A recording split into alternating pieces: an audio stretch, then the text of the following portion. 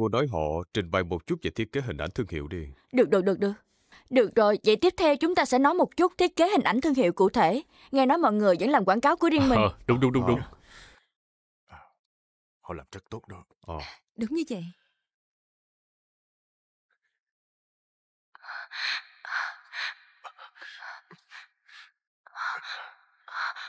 Ờ, Họ. À, chuyện chuyện là gì sao vậy? Chuyện này là Sao chứ? Hả? Có chuyện gì? Đây là Ta sao? lại ngại quá. Phải đó. Video có chút nhầm lẫn rồi. Đây là ý gì vậy? Sao lại như Có chuyện gì vậy? Thật ngại quá. À, thật ngại quá. À, xin lỗi, xin lỗi Sao nha. lại có trường hợp này? Đúng là mất mặt thiệt. Hình ảnh này là sao đây? Không thể nào chấp nhận được. Vậy là sao chứ? Không ngờ là như vậy luôn đó.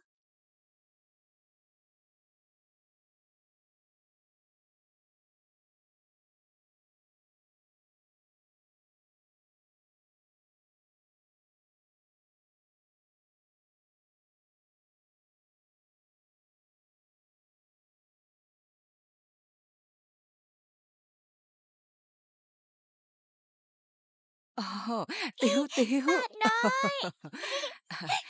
Bảo bối của bà, bà nhớ quá. Con cũng nhớ bà nữa. À, mình đi vào đi ha. Đi vào thôi. À, đi đi con. Dạ.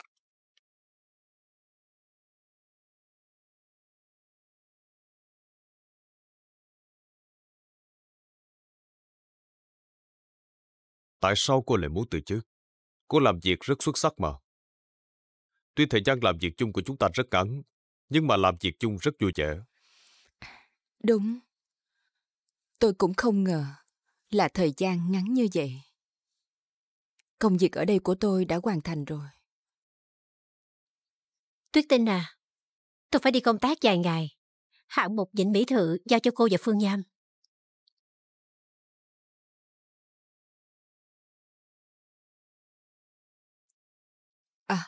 Tôi chuyển nhà rồi. Nhà mới cách thư viện có chút xa. Ồ, vậy thì tôi không miễn cưỡng cô. Cảm ơn anh nhiều.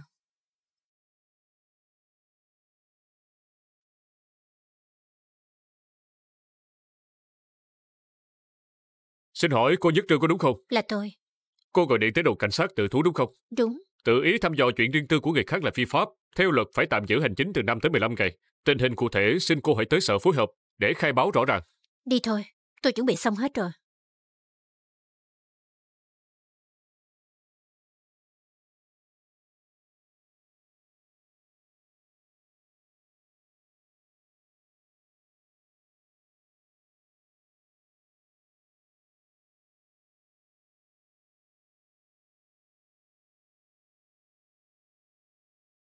À, làm phiền tránh ra một chút.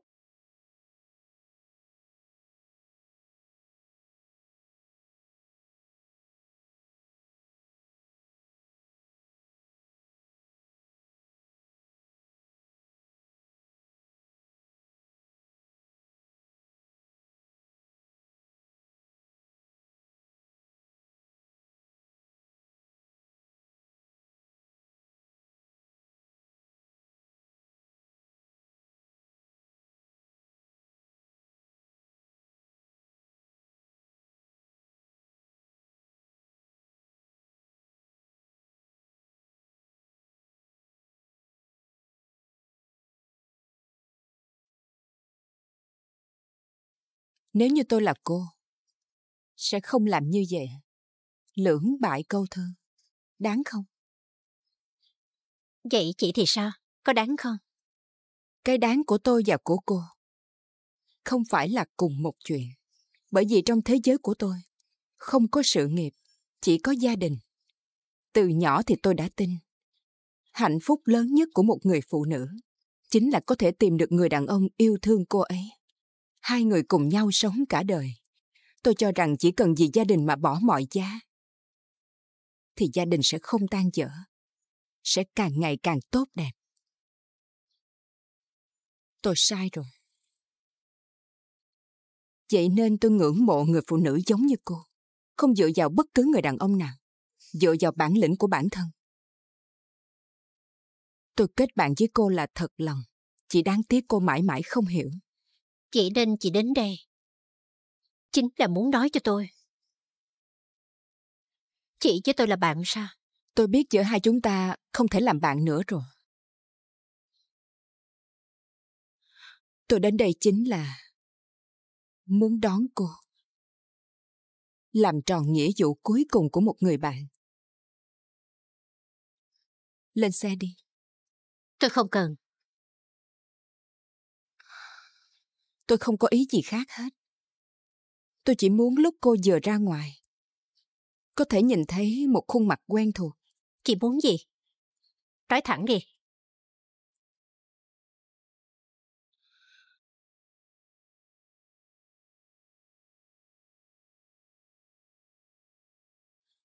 Không phải là cô muốn báo thù tôi hay sao? Cô thành công rồi đó. Vậy thì để tôi nói thẳng luôn.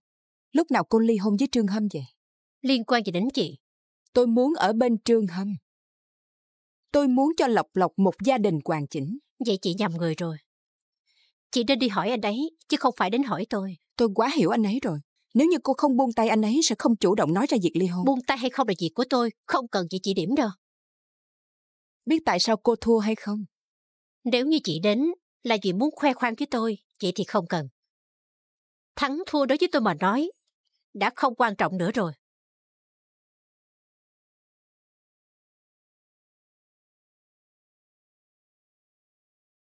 Chấm hết. Cô còn nhớ hai chúng ta lần đầu gặp mặt tôi nói gì với cô hay không? Bản chất của cô là một người rất lãng mạn, giống như thói quen hút thuốc vậy. Sức kiềm chế của cô quá mạnh. Cô vì hôn nhân có thể buông bỏ hoàn toàn bản thân của mình. Thứ mà tôi học được sau cuộc hôn nhân thất bại của tôi chính là phải khống chế không chỉ riêng bản thân của mình. Nếu như cô muốn tiếp tục đi với anh ấy, thì cô buộc phải khống chế anh ấy. Không ai có thể khống chế được ai. Chị chỉ có thể biến bản thân từ một người bị hại thành một kẻ hại người. Chị nói chị muốn cho Dương Lộc một ngôi nhà hoàn chỉnh. Chị dám nói sự thật với thằng bé hay không? Chị có từng nghĩ qua ngôi nhà mà chị muốn cho thằng bé có phải thứ nó muốn hay không?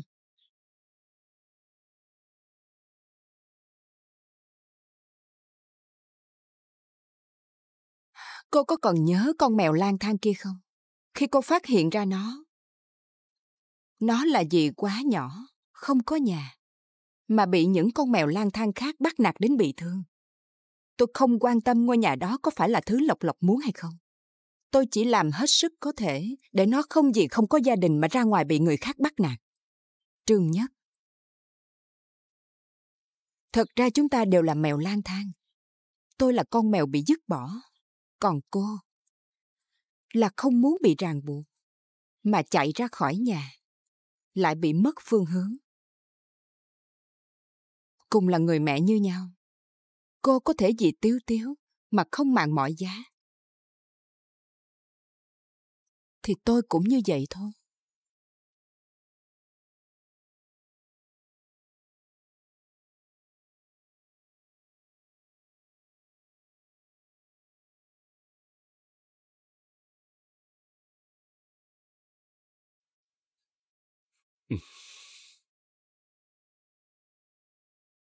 À, cậu vào trong đợi tôi một chút đi. Nè Alex, tôi tiễn anh.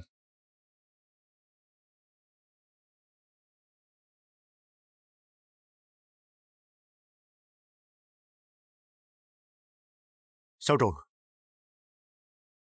Sao rồi hả? Cậu đang nói cái gì vậy? Tổng bộ ở Pháp đã lấy lại quyền đại lý rồi. Em trọng tới vậy sao? Người Pháp xem trọng hình tượng thương hiệu như thế nào cô biết không? Cậu yên tâm đi, thương hiệu này không được. Chúng ta có thể đàm phán với thương hiệu khác mà. Mấy ngày trước còn có thương hiệu bên Mỹ. Thương hiệu khác? Ngành này vốn không có nhiều. Các công ty hầu như đều biết nhau. Cậu là người sáng lập công ty, nhưng làm ra chuyện như vậy lại còn bị quay lại. Chuyện này mà truyền ra ngoài, ai dám hợp tác với chúng ta đây? Điều này là Trương Nhất làm. Cô ấy âm thầm đặt máy quay trong văn phòng của Dương Dạng. Tôi đầu tư biết bao nhiêu tiền để làm với cậu, chỉ vì một người phụ nữ mà hủy hoại mọi thứ, còn giấu cả tôi. Cậu có coi tôi là huynh đệ nữa hay không? Đạo lý à, tôi làm nghiệp với cậu là nghiêm túc mà. Tôi hy sinh cho công ty không ít hơn cậu đâu. Tôi thừa nhận, chuyện của tôi và Dương Dạng là tôi làm sai. Nhưng mà Trương Nhất thực sự quá đáng rồi. Cậu còn trách Trương Nhất hay sao? Được rồi, tôi không muốn hợp tác với cậu nữa. Cảnh Phong, cậu có ý gì? Rút vốn. Lão Lý, Lão Lý à. Tôi đặt tất cả tài sản và danh dự của bản thân mình vào gián bài này rồi. Nếu còn rút vốn là đẩy tôi vào hố lửa đó biết không? Cậu đang ở trên hố lửa rồi cậu biết không? Tự mình suy nghĩ cho kỹ đi. Lão Lý, cậu không thể rút vốn được. Nếu còn xem lại anh em, hãy nghe tôi nói một lần đi. Rõ ràng biết hai chúng ta đang lập nghiệp. Cậu làm ra chuyện như vậy. Có coi tôi là anh em hay không? Có coi tôi là bạn bè hay không? Đừng đi bà, nghe tôi nói đã. Tránh ra đi.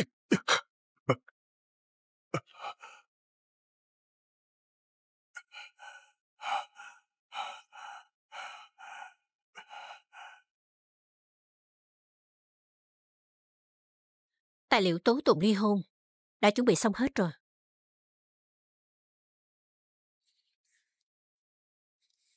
Nhiêu đây thôi sao? Chỉ vậy thôi. Chứng cứ ngoại tình đâu? Không có. Chứng minh tài sản? Không cần đâu.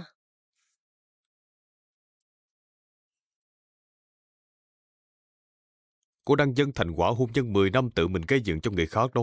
Thành quả gì chứ? Tiền. Nhà hay sao? Tim đã không còn nữa. Thì tôi tính rõ như vậy để làm cái gì? Giờ tôi chỉ muốn quyền giám hộ Tiếu Tiếu. Còn những chuyện khác, giao cho thẩm phán đi. Cô sợ rồi sao? Cô sợ phải đối diện với thi thể của hôn nhân, sợ bản thân như pháp y đi giải phẫu từng bộ phận của nó. Khi mở bụng, mở ruột, máu tươi đập địa, thì không còn bình tĩnh và lý trí đi phân tích từng chứng cứ nhỏ nhặt.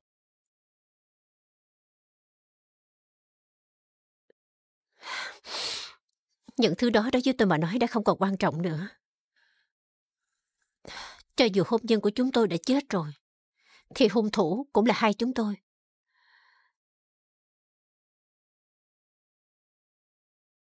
Và điều tôi thật sự sợ là khi chúng tôi đang so đo những chứng cứ cuộc sống lật mặt thành kẻ thù, sẽ làm tổn thương người không đáng bị tổn thương nhất.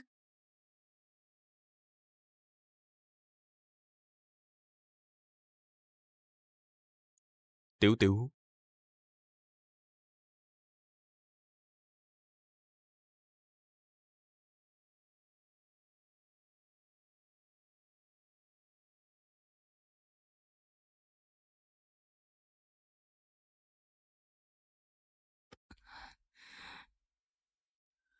Sao lại thành ra như vậy chứ?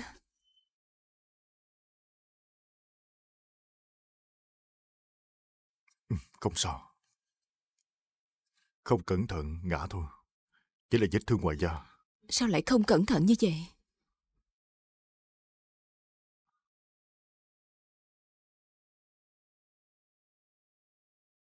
Tiếu Tiếu à, sau này xuống cầu thang, phải để bà ẩm con có biết chưa?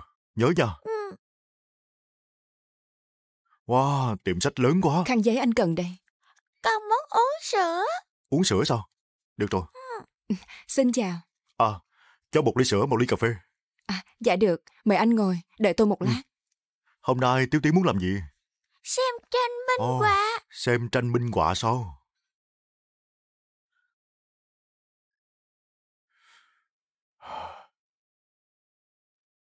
Công ty xong rồi. Ý anh là gì?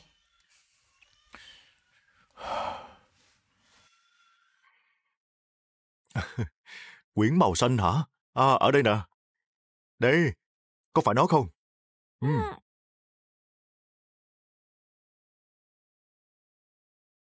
Đến rồi. Cà phê của anh đây. Cảm ơn. Ừ. Ồ, con không sao chứ? Nóng. Tiếu Tiếu à, sau này đồ nóng gì á, con đừng có tự ý đồng vào nha. Hay là uống nó. Ồ, nóng thật đó. Giúp tôi lấy cái ly khác cho. À, dạ được. Không sao đâu. Con rất là kiên cường và dũng cảm nữa. Ừ.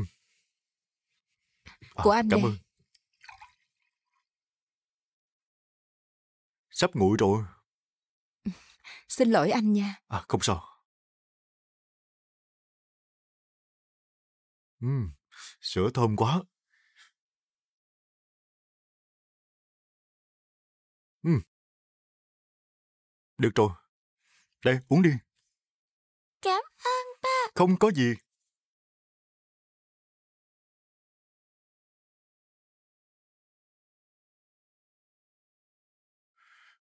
Tổng bộ ở Pháp rút quyền đại diện. Lý Cảnh Phong cũng rút vốn. Xong rồi. Xong hết rồi.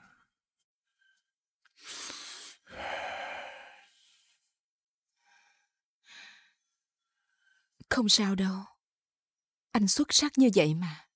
Nhất định có thể bắt đầu lại từ đầu.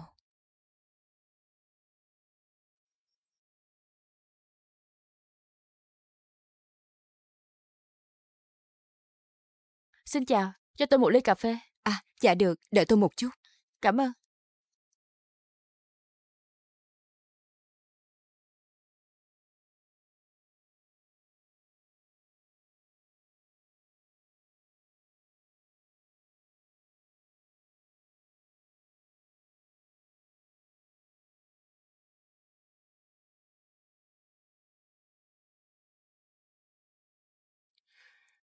Alo. Trương Hâm.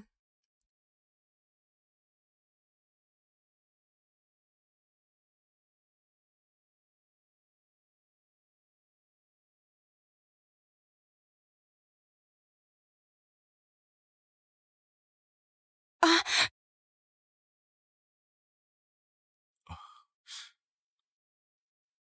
Cô sao vậy? Trẹo chân hả? Đau chỗ nào? Đỡ đau chưa? ừm, bây giờ cũng đỡ rồi. So bóp nhẹ nhàng như vậy, như vậy đỡ hơn chưa? Ừm, Như vậy là hết đau rồi. ừm, Chuột rút do thiếu canxi. Phải uống nhiều sữa và chú ý hơn nữa. ừm. Quan trọng hơn là phải biết bảo vệ bản thân mình, phải giữ ấm. Khi trời lạnh, đừng mặc quá ít đồ. Phải mặc À. quần dài mới được. Nhưng mà tôi lại thích mặc váy. Thời gian trôi qua thật nhanh. Nếu như không gặp được anh, em không thể trụ được qua quãng thời gian đó.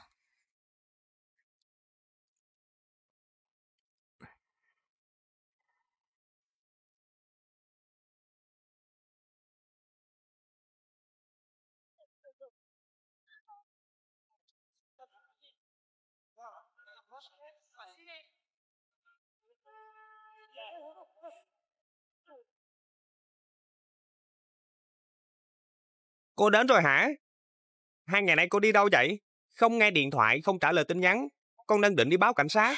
Báo cảnh sát bắt cô vì trộm vật của con sao? Không phải là không có khả năng đó. Vật này là bản giới hạn. Quà mẹ con tặng con đó. Không phải giờ cô mang đến cho con rồi sao? Hai ngày trước cô đi đâu vậy? Công tác. Hay là hai chúng ta đánh một set đi? Không đến đâu. Cô đến để chào tạm biệt con. Tạm biệt hả? Cô phải đi rồi. Cô đi đâu vậy? Đến một thành phố khác để sinh sống. Ừ. Thật ra, nói chuyện với cô con thấy rất vui. Có một số chuyện nói với người khác, bọn họ sẽ không hiểu. Nói chuyện với con, cô cũng thấy rất vui. Vậy sau này chúng ta có thể nói chuyện với nhau không cô? Ừ. Tại sao vậy cô? Cô hy vọng con mãi mãi không có gì phiền phức để không có tâm sự gì nói với cô hết.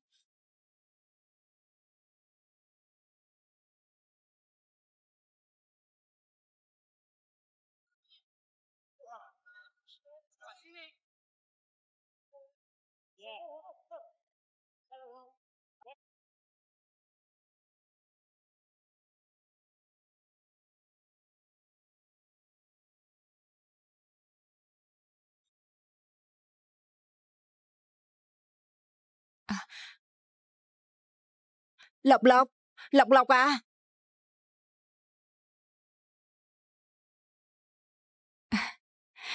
Có mệt không? Dạ con không sao. Con uống chút nước đi. Từ từ thôi. Hôm nay huấn luyện viên có khen con không? Dạ có. À. Mẹ, mẹ gọi con đến có chuyện gì không? Sao mà gấp quá vậy? Mẹ có một tin tốt muốn nói với con. Tin tốt gì vậy? Không phải là con luôn muốn mẹ tìm được một chỗ dựa hay sao? Bây giờ mẹ đã tìm được người đó rồi. Thật sao mẹ?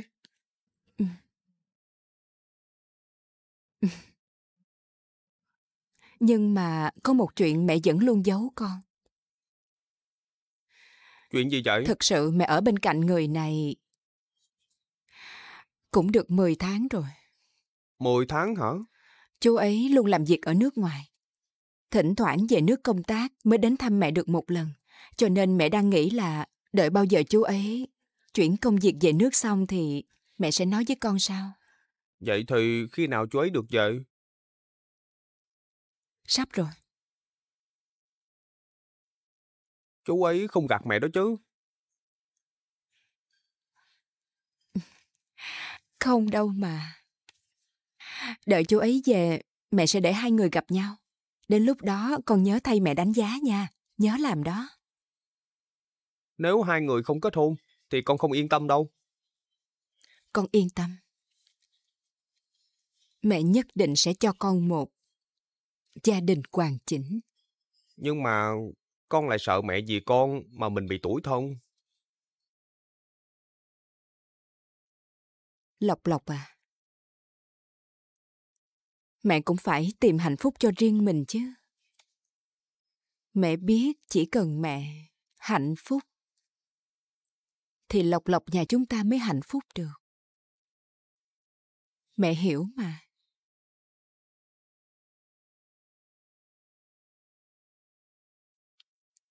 Ăn đi.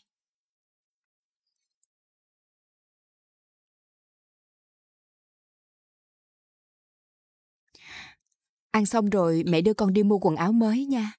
Dạ đủ. À.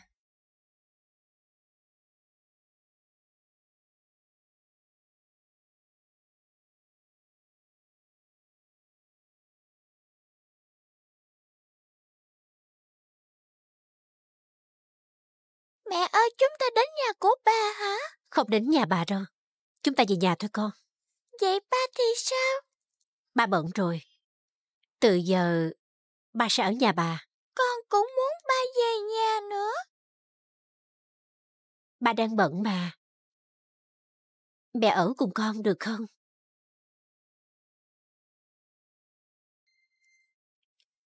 Mẹ ơi, mẹ với ba thật sự muốn ly hôn sao?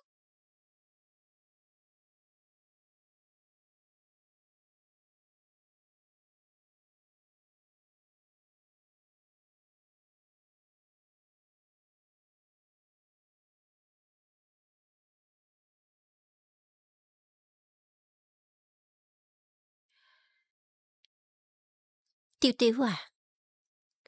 Con nghe mẹ nói. Ba mẹ sắp ly hôn rồi con à. Nhưng mẹ mãi mãi là mẹ của con. Ba cũng mãi mãi là ba của con. Cho dù con không cần ba mẹ nữa, ba mẹ cũng mãi mãi không thể không cần con được. Mặc dù sau này có thể ba sẽ không ở cùng chúng ta nữa. Nhưng ba sẽ giống như trước đây, mãi mãi yêu con. Cũng sẽ đến thăm con thường xuyên, chơi cùng con, đưa đón con đi học. Được không? Mẹ ơi, mẹ tha thứ cho ba có được không? Hai người đừng ly hôn được không? Bảo bối à, đây không phải vấn đề có tha thứ được hay không. Cả ba và mẹ đều mệt mỏi. Muốn chia tay tự thân nghỉ ngơi một chút. Con hiểu không?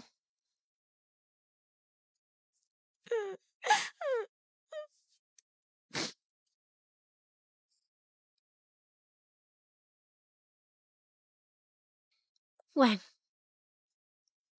Đừng khóc nữa.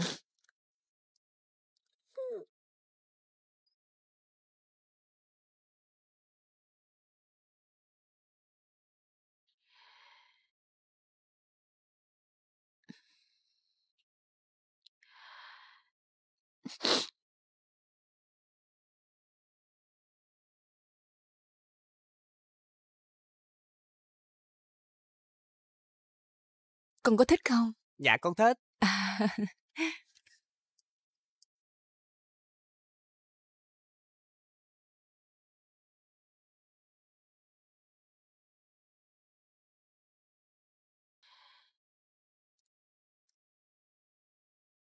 Về nhà thôi.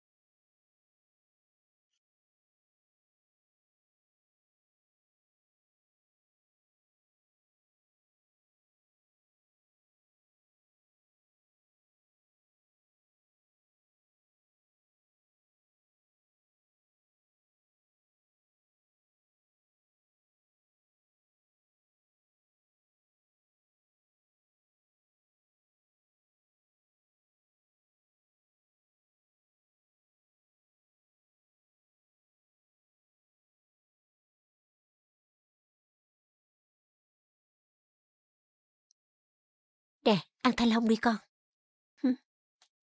Mẹ ơi, mẹ cũng ăn đi, chúng ta mỗi người một nửa.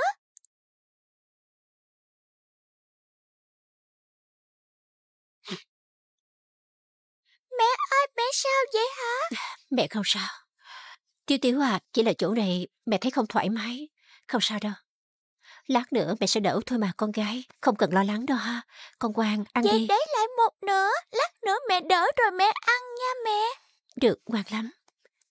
Nè, mẹ đút cho con ăn nha, ha.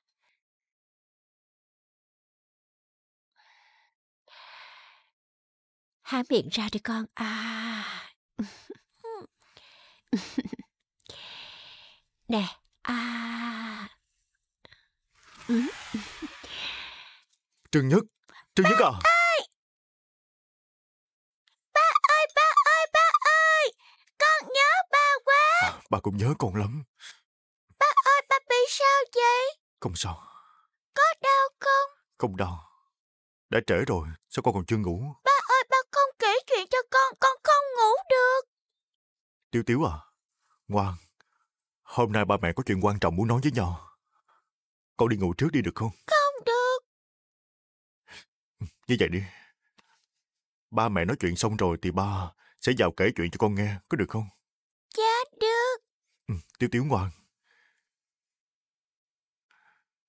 Ngủ đi nha. Ngủ ngon nha con.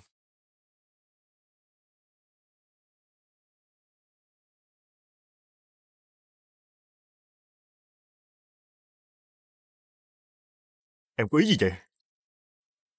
Còn chưa đủ rõ ràng sao? Anh sẽ không ly hôn với em đâu. Đây không phải là chuyện của một mình anh. Trương Nhất, em quá quắc lắm rồi đó. Chuyện gì cũng là em quyết định hết đúng không? Em có thể trả thù anh. Anh có thể không cần gì hết. Nhưng mà thiếu lộ là tâm quyết của anh và Cảnh Phong. Nhà của chúng ta cũng đã thế chấp đầu tư vào đó rồi. Em làm như vậy là đang báo thù anh. Anh đang nói cái gì vậy? Em đem đoạn quảng cáo của cuộc họp đổi thành video giữa anh và Trương Nhàn. Được, hạng mục tan tành rồi. Lý Cảnh Phong cũng rút vốn. Em vui chưa? Anh nói cái gì? Tôi đổi video của anh hay sao? Trước hôm cuộc họp một ngày, anh để laptop ở nhà. Không phải em thì là ai đây? Đúng. Tôi đã nhìn thấy. Nhưng tôi không đụng vào cặp công dân của anh.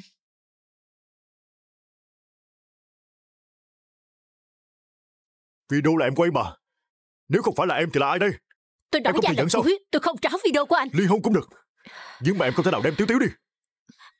Ơi, mẹ ơi, ba mẹ ơi đừng ly hôn. Tiểu Tiểu, Tiếu Tiếu à, là đây với bà. Tiểu Tiểu à. Anh làm loạn đủ chưa? Không sao Tiểu Tiểu đừng khóc nữa mà con. Có mẹ đây. Nào, mẹ ôm con ha. Ồ, được rồi Tiểu Tiểu ngoan của mẹ. Không sao, không sao đâu con gái à.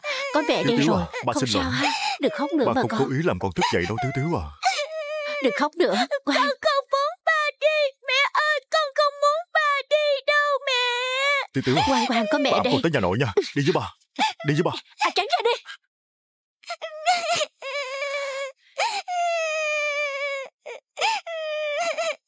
Trước đó đốt cuộc cặp công dân của anh đã để ở đâu?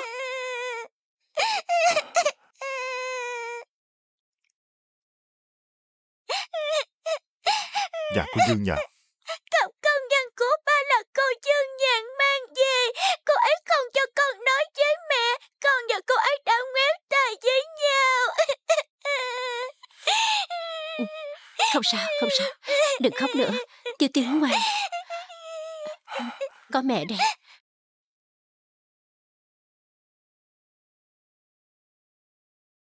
Mẹ đi tắm nha. Con chơi ngoan ở đây một lát được không? Dạ được.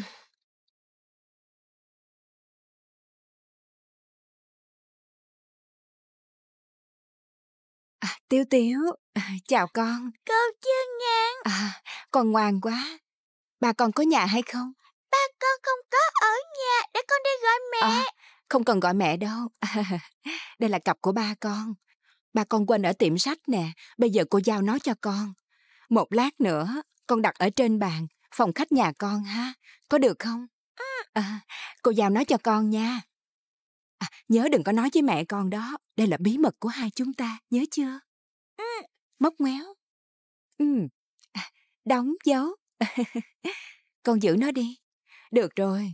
Cảm ơn con. Tạm biệt. Tạm biệt.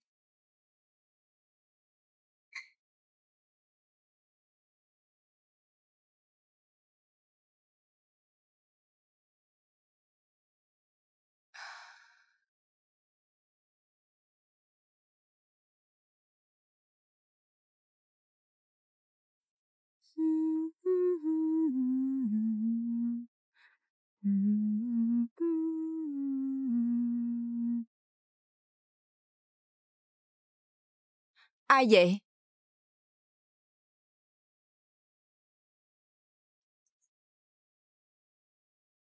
Sao anh lại tới đây?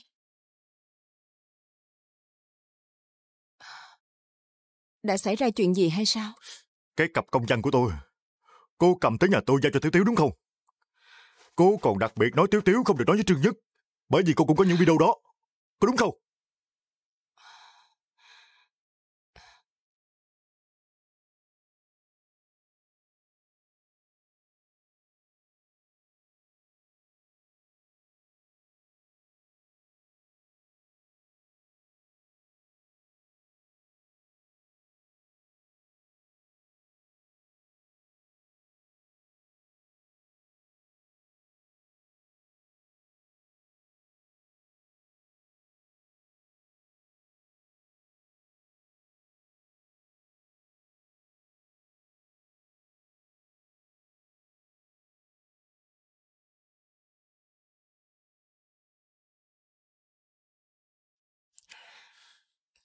Trương Hâm à, anh nghe em giải thích đã.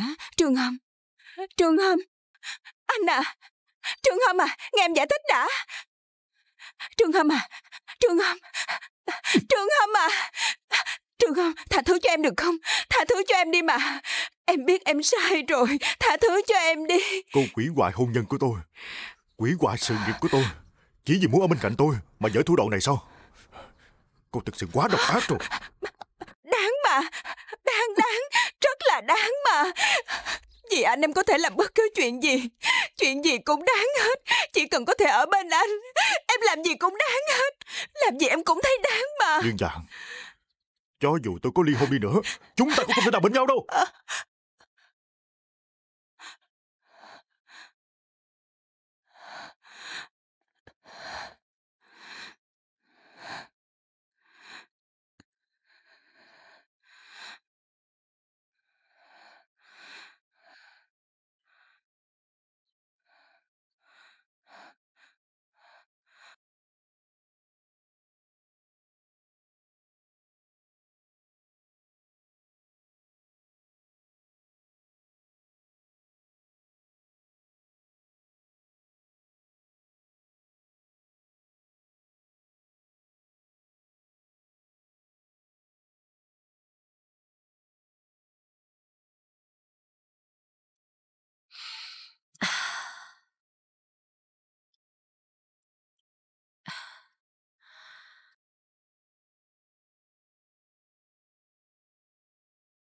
Bác sĩ Lý, tôi quyết định rồi. Ừ, ngày mai gặp.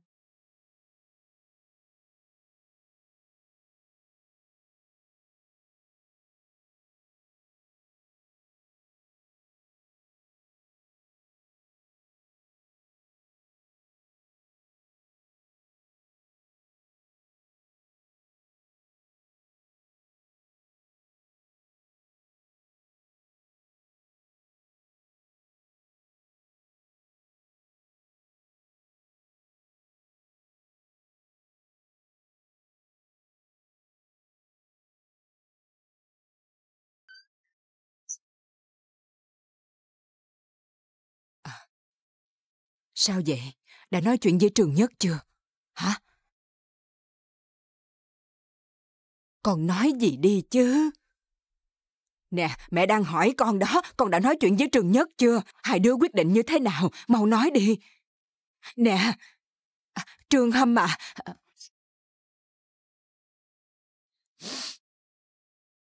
Mẹ ơi, con về rồi. à chào con. Mẹ ơi, mẹ sao vậy? À, không có gì. Con có mệt không? Mẹ, Hả? xảy ra chuyện gì vậy? Sao mẹ lại khóc chứ? À, mẹ không khóc. Mẹ có khóc đâu. Có phải là người mẹ nói ông ta bắt nạt mẹ hay không? Ai dám bắt nạt mẹ chứ? Thật ra mẹ chỉ là vừa mới nghĩ. Hai chúng ta cuối cùng cũng sắp có một ngôi nhà mới rồi. Là mẹ vui quá thôi. Vào phòng làm bài tập đi. Dạ.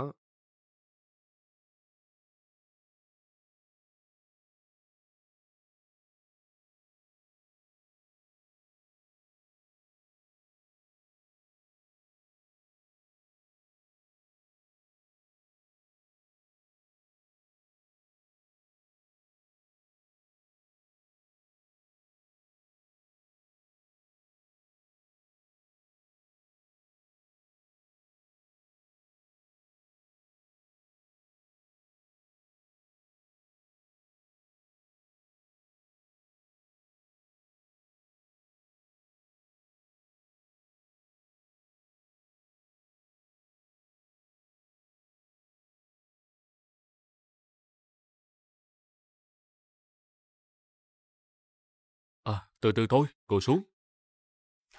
Em sợ lắm. Được rồi, không sao đâu. Một lát nữa sẽ ổn thôi. Hả? À, em uống nước không? Ừ, Không uống.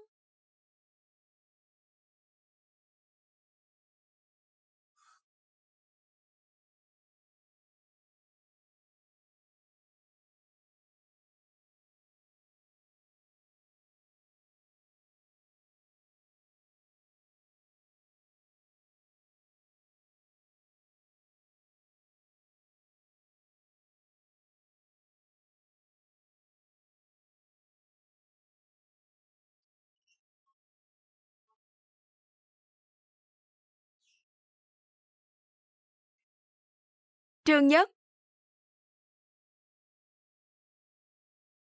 Bỏ túi ra ngoài, vào trong đi.